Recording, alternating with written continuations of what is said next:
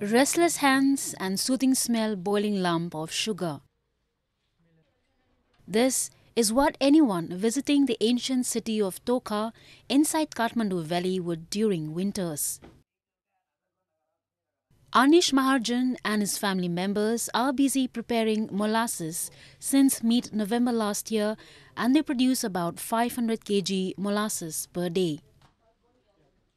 हामीले दैनिकले बिहानदेखि बेलुकासम्म दस बोरा जति बनाउँछौँ कहिले घटी नौ बोरा आठ बोरा नि हुनसक्छ कहिले एघार बोरा बढी नि हुनसक्छ होइन?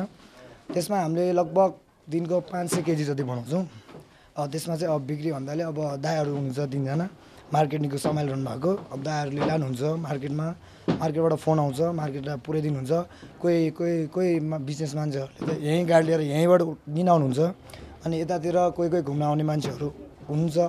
आउनुहुन्छ होइन आउनुहुन्छ यसो घुम्नुहुन्छ चाकुको बासना दिएर यतै आउनु कारखानामा आएर किनेर खानुहुन्छ त्यसै चल्दैछ हाम्रो मार्केट चाहिँ The making of molasses is seasonal and the industry only works full time for just two months in a year. Rest of the time, the people would indulge in farming and other supporting business. Molasses is prepared by cutting, crushing and mashing the sugarcane, extracting the juice and then boiling to concentrate the same.